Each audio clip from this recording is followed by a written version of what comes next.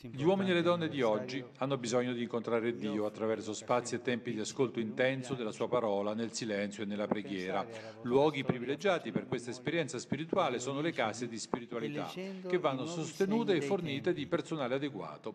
Lo ha rilevato Papa Francesco nel discorso alla Federazione Italiana Esercizi Spirituali nel cinquantesimo dalla fondazione.